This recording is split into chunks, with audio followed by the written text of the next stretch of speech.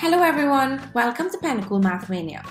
My name is Captainess 123 and today we will learn how to tell time with an analog clock. A clock is a tool that is used to measure time. There are two types of clocks, analog clocks and digital clocks. In this lesson, we are going to learn about analog clocks. Analog clocks represent time by the position of hands on a dial.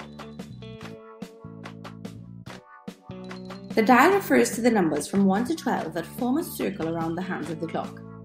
There are two hands on the dial, a short hand and a long hand. The number that the short hand points to represents the hour. The short hand is known as the hour hand, while the number that the long hand points to represents the minutes. The long hand is known as the minute hand.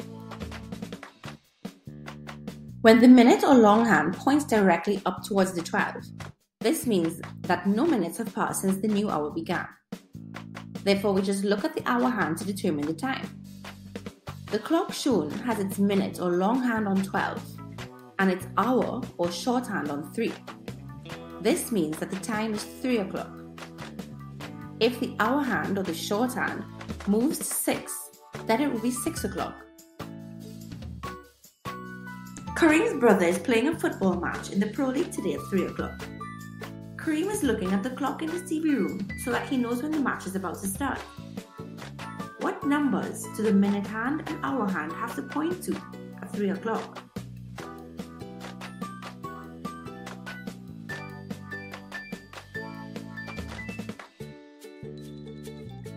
Thank you for visiting Math City today. Try the exercises on pennacool.com to earn points and win great prizes.